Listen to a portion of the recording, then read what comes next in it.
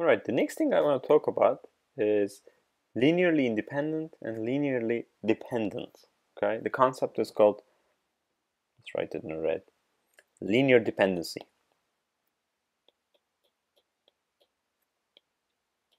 Obviously, independency as well.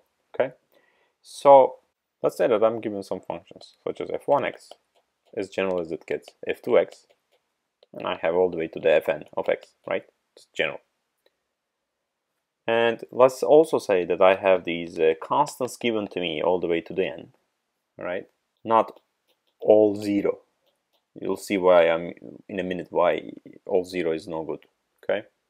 So what will happen is if c1 plus c2 f2 fx I sum them up all the way to cn fn of x is equal to 0 if this is satisfied. This is called linearly dependent. So if this is satisfied, linearly dependent, right? So this is also going back to the solution and existence and uniqueness. You remember that, you know, from your other courses, we are interested in independent solutions, right? We don't want to get a solution that is dependent on each other. So this is kind of important. If these are linearly dependent, then I may not have solved the whole question properly okay? So this is a fundamental uh, topic and I want to highlight something over here. You may not uh, seen it or maybe maybe you do. Let's say that I have two solutions right? C1 f1 plus c2 f2 I'm simply not writing as a function of x anymore. Is equal to 0 let's say that they are linearly dependent on each other. So you can see that f1 is equal to uh, basically minus c2 by c1 times f2 right? So you can see this is a constant because they were constants before so then the two solutions that I obtain myself will be a, simply a constant multiple of the other. So that's not really valuable. If I have, if I'm interested in most of the cases linearly independent, let's say two functions, then neither is a constant multiple of the other one on the interval. That is also important, okay? So these concepts are uh, fundamental. So I need to introduce these to you to solve. So the thing that I'm going to introduce next may seem new, right? So depending on what you studied before. But what I'm going to introduce is called, let me write, write this, skin, okay? And is a Polish from Poland, a mathematician, okay? So apparently I say this wrong. I had a Polish student in my class, he corrected me, but I still cannot say properly, I guess. Wronskian is how am I going to say it. So let's go back, f1 of x, f2 of x, so basically this uh, quantifies whether these functions are linearly dependent or independent. Okay, we'll see. It is a bit, uh, you know, dense maybe at first, but you'll see. The Wronskian, or we simply call this W to his uh, first initial, W of f1, f2, all the way to fn will be, I'm going to look at the determinant of this matrix, f1, f2, all the way to fn, fn, excuse me, f1 prime, f2 prime, fn prime, right? And then I got myself all the way, all the way, all the way, f1 of n minus 1, f2 of n minus 1, and I have fn minus n minus 1. And obviously the primes, uh, I'm using the prime notation, so those are the derivatives of that particular function that I'm giving, all right? So let's say that I'm given the solutions of a differential equation that I'm interested in, y1, y2 and all the way to yn all right um, if I calculate my wrong Wronskian with these uh, you know the solutions that I have if this determinant of this matrix Wronskian is not equal to zero for every x in the interval okay? I want to repeat that again. For every x in the interval that I have then the solutions will be linearly independent okay? If I get my Wronskians determinant of the wrong Wronskian matrix to be zero then they are called linearly dependent okay? And if I establish them, them and they are linearly independent and I will call them the fundamental set. So these solutions that I establish remembering that these are solutions to the DE right? And if this is satisfy, I check it this is satisfy. I'll go ahead and call them the fundamental because they are linearly independent of each other. Okay, mental set of solution is what I'm going to call these as. Okay, and I will uh, now connect this fundamental set to the general solution because I use that terminology in the, when I'm solving uh, first order differential equations, as you remember. So let's write it here. General solution is obtained from fundamental solution this way. Okay, I have myself the general solution will be equal to c1 of y1, right? c2 of y2 of x, and I have all the way cn of yn of x. Okay, so this is called the general solution. So what I want to highlight is so far I was focusing on the homogeneous, right? We discussed this over here. We, we started this by homogeneous equation. We said if this is homogeneous, which means that this g of x is 0, right?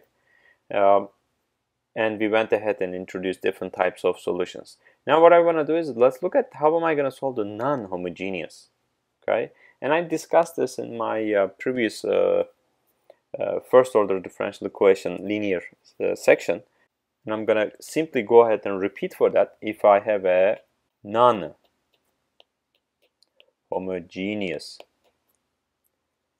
equation, right? So if I have a, a, a, function, let's call this yp, p stands for particular, we'll talk about it in a minute. So this a function yp that satisfies the non-homogeneous equation is called a particular solution, okay? So if I have a general solution, then it's gonna be like this. The general solution will be up there. So this will be the solution to the homogeneous equation. And I have a solution to the non-homogeneous equation. I simply sum them up. Again, I discussed this. You may want to repeat, you know, rewatch those videos as well. C1, Y1 of x, and I have C2, Y2 of x, and I add all the way to Cn, Yn of x, plus Yp will be my general solution okay. So this uh, say this is called complementary solution while this is called particular solution. Okay. So it's um, you know it's now uh, abundantly clear that my uh, solution will be the summation of the complementary solution, which I obtained by going ahead and solving the homogeneous equation, which means j of x is 0, or the right-hand side of the differential equation is 0. Then I got myself a complementary uh, solution or function. Um, then I look at solving the non-homogeneous equation. And again, I'm not really discussing how I'm going to solve it. I will talk about that for many, many different videos, right? But I'm talking about, let's say that I, you know, like magically I jump from this equation to the solution particular solution, I simply sum them up. I will also introduce myself another superposition. I talked about superposition before. Let me um, repeat that so that we're on the same page. So I'm talking about the homogeneous over here. What happened was I have a, these are the solutions of the linear ODE. Then this combination will also be a solution. We talked about that. So now I'm going to take a little bit different approach because the right hand side was 0 over there. So now talking about the non-homogeneous equation and actually let's go ahead and write it for a good measure. A n of x dyn dxn and I'm going to take a shortcut over here all the way to a1 of x dy dx plus a0 obviously I'm going to get myself a g i. I'll talk about what i is of x okay? And I'm going to assume this way. Let's say that y, p1 particular 1, is a solution and a particular solution when I have my g1 of x, right? And I have the second solution, y, p2, will be a solution of where I have g2 of x, okay? And I have all the way to, let's say, the, uh, it goes up to k. I have k number of solutions, then gk of x, okay? Here's what the superposition says, and this is extremely handy. Here's what it says. y is equal to yp1 plus yp2 plus all the way to ypk, we call it up to k, will be a solution of, if I took advantage of writing on the screen, right, you, you've seen it, where the right hand side now will be, that's why I meant by i, g1 of x plus g2 of x plus all the way to gk of x okay? And I can simply write this as g sub i of x okay. So at this point you may be saying okay so this is uh, okay looks good. So what? Right? Let me explain so what part. Um, or before that let me go at one more time to ensure everybody got it. So I have myself a let's say that you know as an example this is g1 of x is equal to sine x. Let's say g2x fx is equal to e to the x and g3 of x is let's say ln of x.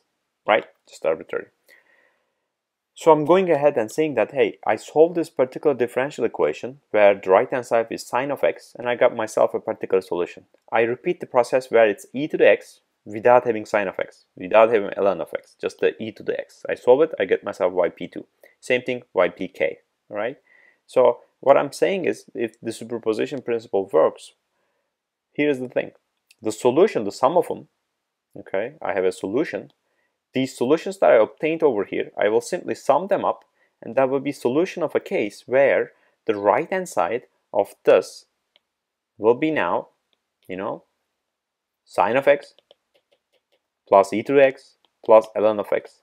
So basically, instead of going ahead and solving this complicated right hand side, it may be fairly complicated to solve this, I can simply ignore these two and solve it and get a solution. And I simply ignore these two and get a solution with just this existence. And I do the same thing for the last one and I simply sum them up. This makes my life so much easier. You will, you will see that this will get in really, really handy very soon. Okay. So this is the theory of linear equations. Obviously, I didn't talk at all about how to solve them at this point. Now, the next step is to approach from that angle okay so we, we obtain these things nice so let's solve them okay? That will be exciting. I'll look forward to seeing you in the next segment okay? Thank you